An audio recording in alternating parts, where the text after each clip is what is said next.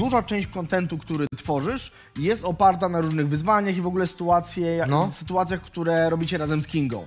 Nie boisz się czegoś takiego, że wiesz, no jesteście młodzi, kiedyś się rozejdziecie i jeżeli zdarzy wam się kiedyś, odpukać oczywiście, rozejść, to później, nie wiem, cały internet będzie huczał. No to może być mega ciężkie dla pary, nie? Wiesz co, mieliśmy taki pomysł na milion subów mój, żeby zrobić fake rozejście i wybustować Kindze kanał.